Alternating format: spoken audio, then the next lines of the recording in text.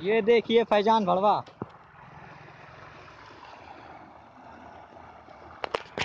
और ये देखिए मैं। हाँ?